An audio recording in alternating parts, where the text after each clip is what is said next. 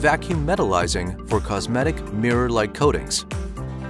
For this, we designed and built a dual-firing vacuum deposition chamber where we apply chrome and 24 karat gold to the interior of the optical part.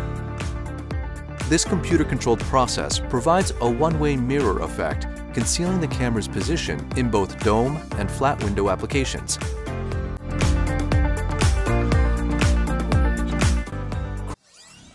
For more information, please visit our website at www.ctioptics.com.